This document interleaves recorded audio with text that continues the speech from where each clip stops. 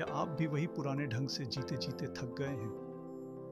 क्या आप हर दिन एक ही तरह की दिनचर्या में फंसे हुए महसूस करते हैं, जैसे कि आप एक अंतहीन चक्र में घूम रहे हो? क्या आप फंसा हुआ महसूस करते हैं, उन आदतों से मुक्त होने में असमर्थ हैं, जो अब आपके लिए अच्छी नहीं है? ये एक ऐसा अनुभव है, जो हम में से कई लोगों ने महसूस किया है, जैसे कि हम अपने ही बनाए हुए जाल में फंस गए हों।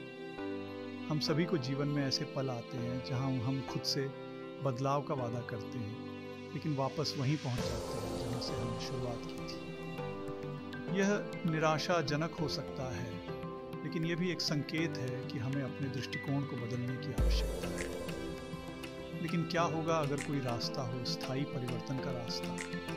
एक ऐसा रास्ता जो हमें न केवल स्थायी राहत दे, बल्कि हमारे जीवन को एक ऐसी ज़िंदगी की कल्पना करो जहाँ आपके पास खुद बनाई सीमाओं को तोड़ने की ताकत ये एक ऐसी दुनिया है जहाँ आप अपने सबसे बड़े सपनों को साकार कर सकते हैं और अपनी पूरी क्षमता को प्राप्त कर सकते हैं। एक ऐसी ज़िंदगी जहाँ आप पुरानी आदतों का बोझ उतार सकें और सच्चे बदलाव की आज़ादी को अपना सकें। ये एक यात्रा है जो आपकी खोज और आत्म सुधार की है ये सफ़र एक सरल लेकिन गहरी पहचान से शुरू होता है उन पैटर्न को पहचानना जो हमें फंसाए यह समझना कि कौन सी आदतें और सोच हमें पीछे खींच रही है, पहला कदम है। किसी भी बदलाव के लिए पहला कदम है उसकी ज़रूरत को स्वीकार करना। यह स्वीकार करना कि हमें अपने जीवन में कुछ बदलने की आवश्यकता है। एक महत्वपूर्ण मोड़ है।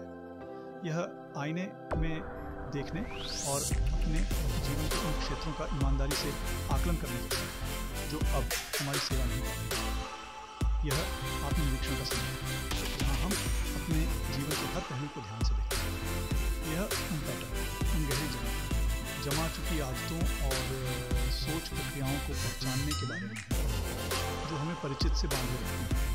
तब भी जब यह हमें खुशी या संतुष्टि नहीं देती, यह एक कठिन प्रक्रिया हो सकती है।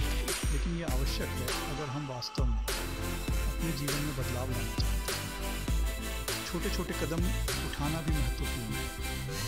ये एक नई हॉबी शुरू करने, छोटे लक्ष्य निर्धारित करने या अपने दैनिक जीवन में छोटे छोटे बदलाव करने जैसा हो सकता है।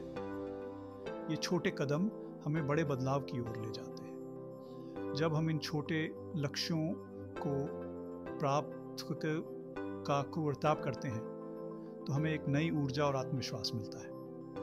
यह हमें यह विश्वास दिलाता है कि हम बड़े बदलाव भी कर सकते हैं। समर्थन भी महत्वपूर्ण है। अपने दोस्तों, परिवार या किसी समुदाय के साथ जुड़ना, जो आपके बदलाव के सफ़र में आपका साथ दे सकते हैं, बहुत सहायक हो सकता है। यह हमें प्रेरित और प्रोत्साहित करता है। अंत में ये यात्रा आत्म खोज आत्म सुधार और आत्म स्वीकृति की है। ये हमें एक नई दिशा में ले जाती है, जहाँ हम अपने जीवन को नए सिरे से देख सकते हैं और एक नई शुरुआत कर सकते हैं। यह एक निरंतर प्रक्रिया है, लेकिन ये हमें एक बेहतर और अधिक संतुष्ट जीवन की ओर ले जाती है। हम में से कई लोगों की तरह सारा खुद को हर साल न्यू ईयर रेजोल्यूशन लेते हुए पाती थी। आखिरकार अपना वज़न कम करना और अपनी सेहत को प्राथमिकता देना। यह एक ऐसा संकल्प था जो उसे हर साल प्रेरित करता था, लेकिन साथ ही उसे चुनौती भी देता था। हर जनवरी वह अटूट उत्साह के साथ शुरुआत करती, पूरी लगन से जिम जाती और अपने कैलोरीज पर बारीकी से नज़र रखती। वह अपने खाने पीने की आदतों को बदलने के लिए नए नए तरीके अपनाती, जैसे कि हेल्दी रेसिपीज़ ट्राई करना और अपने खाने का एक डायरी में रिकॉर्ड रखना फिर भी जैसे जैसे हफ़्ते, महीनों में बदलते गए, जाना पहचाना पैटर्न फिर से उभर आता। उसकी मेहनत और लगन धीरे धीरे कम होने लगती और पुरानी आदतें फिर से सिर उठाने लगती। शुरुआती प्रेरणा कम होती जाती, उसकी जगह पुरानी लालसाएँ और बहाने ले लेती। वह जिम जाने के बजाय बहाने बनाने लगती, जैसे कि आज बहुत थकान है या कल से फिर से शुरू करूँगी। मार्च आते आते सारा खुद को अपनी पुरानी आदतों में वापस पाती न्यू ईयर रेजोल्यूशन एक दूर की याद बनकर रह जाती उसकी जगह निराशा और खुद को कोसने की एक जानी पहचानी भावना आ जाती वह सोचती कि क्यों हर साल वही कहानी दोहराई जाती है। सैरा सैरा यह सिलसिला साल दर साल खुद को दोहराता रहा, मुझे हारा हुआ महसूस कराता रहा और मैं अपनी बदलने की क्षमता पर सवाल उठाने लगी। मुझे लगता था कि शायद मैं कभी भी अपने लक्ष्यों को हासिल नहीं कर पाऊँगी एक शाम खास तौर पर निराश महसूस करते हुए सारा को एपिक्टीटस के लेखन का पता चला, जो आत्मनियंत्रण और आंतरिक शांति पर अपनी शिक्षाओं के लिए जाने जाने वाले एक स्टोइक फलसफ थे। उसने उनकी किताब को पढ़ना शुरू किया और उनके विचारों में डूब गई। उनके शब्दों ने उसे गहराई से प्रभावित किया, उसके संघर्षों पर एक नया दृष्टिकोण पेश किया। उसने महसूस किया कि असली चुनौती बाहरी नहीं, बल्कि आंतरिक थी। उसे अपने मन को नियंत्रित करना था, न, कि केवल अपने शरीर को। एपिक्टीटस ने सिखाया कि सच्ची आज़ादी बाहरी परिस्थितियों से नहीं, बल्कि अपने मन पर महारत हासिल करने से, अपने आसपास की दुनिया के प्रति अपनी प्रतिक्रियाओं को समझने और नियंत्रित करने से मिलती। है। सारा ने यह समझा कि उसे अपने विचारों और भावनाओं को नियंत्रित करना होगा। ताकि वह अपने लक्ष्यों को प्राप्त कर सके। उसने अपने लक्ष्यों को फिर से निर्धारित किया, इस बार अधिक यथार्थवादी और प्राप्त करने योग्य। उसने छोटे छोटे कदम उठाने शुरू किए, जैसे कि हर दिन थोड़ी देर के लिए ध्यान करना और अपने विचारों को सकारात्मक रखना। धीरे धीरे उसने महसूस किया कि वह अपने लक्ष्यों की ओर बढ़ रही है और यह उसे और भी प्रेरित करता गया। सारा ने छोटे छोटे जीतों का जश्न मनाना शुरू किया, जिसने उसे आत्मविश्वास और प्रेरणा दी। उसने समझा कि परिवर्तन एक लंबी प्रक्रिया है और हर छोटे कदम का महत्व है। उसने अपने आप पर विश्वास करना शुरू किया और अपने संकल्प को एक नई दिशा दी। अंततः सारा ने महसूस किया कि असली जीत अपने आप को समझने और स्वीकार करने में है। उसने अपने सफ़र को एक नई दृष्टि से देखा और अपने आप को गर्व महसूस किया। उसने सीखा कि सच्ची सफलता बाहरी परिणामों में नहीं, बल्कि आंतरिक शांति और संतोष में है। एपिक्टीटस एक पूर्व दास जो प्राचीन रोम में एक प्रसिद्ध दार्शनिक बन गए। एक ऐसी यात्रा पर निकले जो न केवल उनके जीवन को बदल देगी, बल्कि अनगिनत लोगों के जीवन को भी प्रभावित करेगी। ने मानवीय स्थिति में गहरी अंतर्दृष्टि प्रदान की। उनकी शिक्षाएँ आज भी हमें आत्मनिरीक्षण और आत्म सुधार के लिए प्रेरित करती।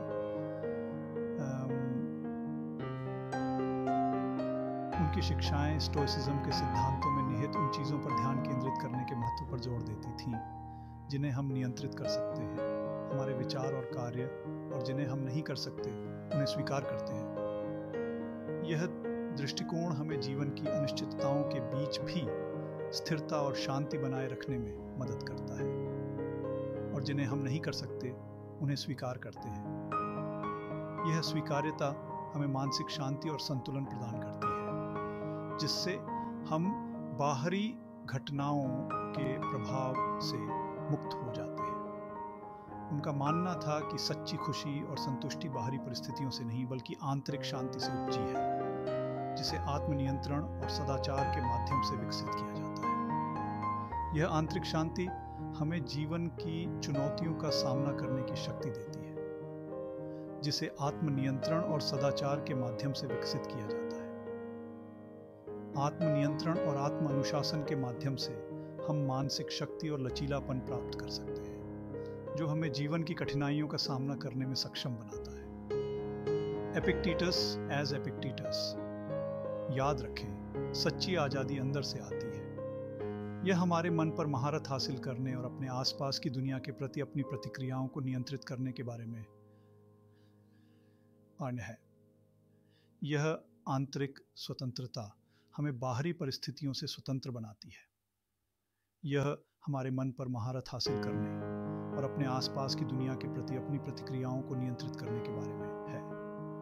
ये मानसिक महारत हमें जीवन की अनिश्चितताओं के बीच भी स्थिरता और शांति बनाए रखने में मदद करती है।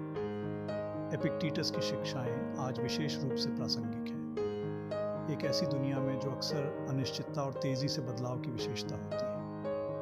उनकी शिक्षाएँ हमें स्थिरता और शांति प्रदान करती हैं। जो हमें जीवन की अनिश्चितताओं का सामना करने में मदद करती है।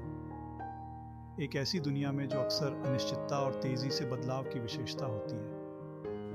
उनकी शिक्षाएँ हमें स्थिरता और शांति प्रदान करती हैं, जो हमें जीवन की अनिश्चितताओं का सामना करने में मदद करती है। वह हमें याद दिलाते हैं कि हालाँकि हम अपने साथ होने वाली हर चीज़ को नियंत्रित नहीं कर सकते, लेकिन हम यह नियंत्रित कर सकते हैं कि हम कैसे प्रतिक्रिया देते हैं। यह दृष्टिकोण हमें मानसिक शांति और संतुलन प्रदान करता है, लेकिन हम यह नियंत्रित कर सकते हैं कि हम कैसे प्रतिक्रिया देते हैं। यह दृष्टिकोण हमें मानसिक शांति और संतुलन प्रदान करता है, जिससे हम बाहरी घटनाओं के प्रभाव से मुक्त हो जाते हैं। ये सरल लेकिन शक्तिशाली विचार हमारे जीवन को बदलने की क्षमता रखता है। हमें नकारात्मक पैटर्न से मुक्त होने और जीवन की अपरिहार्य चुनौतियों के बीच भी आंतरिक शांति विकसित करने का अधिकार देता है। यह हमें अपने जीवन को सकारात्मक दिशा में बदलने की शक्ति देता है। हमें नकारात्मक पैटर्न से मुक्त होने और जीवन की अपरिहार्य चुनौतियों के बीच भी आंतरिक शांति विकसित करने का अधिकार देता है। यह आंतरिक शांति हमें जीवन की चुनौतियों का सामना करने की शक्ति देती है। एपिक्टीटस का ज्ञान जीवन के सभी क्षेत्रों के लोगों के साथ प्रतिध्वनित हुआ। मानव अस्तित्व की जटिलताओं को नेविगेट करने पर व्यावहारिक मार्गदर्शन प्रदान करता है। उनकी शिक्षाएँ हमें जीवन की जटिलताओं का सामना करने में मदद करती है। मानव अस्तित्व की जटिलताओं को नेफ व्यवहारिक मार्गदर्शन प्रदान करती है। उनकी शिक्षाएँ हमें जीवन की जटिलताओं का सामना करने में मदद करती हैं। उनकी शिक्षाओं ने सांस्कृतिक और लौकिक सीमाओं को पार कर लिया। आज भी उतनी ही प्रासंगिक हैं, जितनी सदियों पहले थी। उनकी शिक्षाएँ हमें जीवन की जटिलताओं का सामना करने में मदद करती है। आज भी उतनी ही प्रासंगिक है, जितनी सदियों पहले थी। उनकी शिक्षाएँ हमें जीवन की जटिलताओं का सामना करने में मदद करती हैं। उनके सिद्धांतों को समझकर और लागू करके हम अपने स्वयं के जीवन में बहुमूल्य अंतर्दृष्टि प्राप्त कर सकते हैं, सीमित पैटर्न से मुक्त हो सकते हैं और अपनी वास्तविक क्षमता को अनलॉक कर सकते हैं। यह हमें अपने जीवन को सकारात्मक दिशा में बदलने की शक्ति देता है। हम अपने स्वयं के जीवन में बहुमूल्य अंतर्दृष्टि प्राप्त कर सकते हैं, सीमित पैटर्न से मुक्त हो सकते हैं। वास्तविक क्षमता को अनलॉक कर सकते हैं। यह हमें अपने जीवन को सकारात्मक दिशा में बदलने की शक्ति देता है। सीमित पैटर्न से मुक्त हो सकते हैं और अपनी वास्तविक क्षमता को अनलॉक कर सकते हैं। एपिक्टीटस की शिक्षाएँ हमें अपने जीवन को सकारात्मक दिशा में बदलने की शक्ति देती है, जिससे हम अपनी वास्तविक क्षमता को प्राप्त कर सकते हैं। लंबे समय तक काम करने और लगातार दबाव ने जॉन की सेहत और रिश्तों पर भारी असर डाला था, जिससे वह थका हुआ और मोहभंग महसूस कर रहा था। उद्देश्य और अर्थ खोजने पर एपिक्टेटस की शिक्षाओं से प्रेरित होकर जॉन ने आत्मखोज की यात्रा शुरू की। जॉन, मुझे एहसास हुआ कि बाहरी मान्यता की मेरी खोज मेरी अपनी खुशी और सेहत की कीमत पर थी। मैं समाज द्वारा परिभाषित सफलता प्राप्त करने पर इतना अधिक ध्यान केंद्रित कर चुका था कि मैंने अपने मूल्यों और आकांक्षाओं की उपेक्षा कर दी थी। जॉन ने बदलाव करने का फैसला किया। उसने अपनी उच्च वेतन वाली लेकिन असंतोषजनक नौकरी छोड़ दी और फोटोग्राफी के अपने जुनून का पीछा किया। ये एक जोखिम भरा कदम था लेकिन जॉन सामाजिक अपेक्षाओं के बजाय अपने मूल्यों द्वारा निर्देशित अपने प्रति सच्चा जीवन जीने के लिए दृढ़ था। अनिश्चितता को स्वीकार किया रचनात्मक प्रक्रिया में आनंद और अपना रास्ता खुद बनाने की स्वतंत्रता पाई। खाने के साथ मारिया का रिश्ता विरोधी हो गया था, जो प्रतिबंध, अपराध, बोध और लाचारी की भावना से चिन्हित था। एपिक्टीटस की शिक्षाओं की खोज मारिया के लिए एक महत्वपूर्ण मोड़ थी। मरिया मुझे समझ में आने लगा मेरी नकारात्मक आत्मचर्चा और पूर्णता पर ध्यान केंद्रित करना, मेरे संघर्षों में प्रमुख योगदानकर्ता के काय का थे मुझे एहसास हुआ कि मेरा महत्व मेरे वज़न पर निर्भर नहीं है और ये कि सच्चे स्वास्थ्य में शारीरिक और मानसिक दोनों तरह की सेहत शामिल है। आत्मस्वीकृति और उन चीज़ों पर ध्यान केंद्रित करने पर एपिक्टिटस के ज़ोर से प्रेरित होकर, जिन्हें हम नियंत्रित कर सकते हैं। मारिया ने दया और करुणा की एक नई भावना के साथ अपनी स्वास्थ्य यात्रा शुरू करने का फैसला किया। उसने अपना ध्यान वज़न घटाने से हटाकर समग्र स्वास्थ्य पर केंद्रित कर दिया।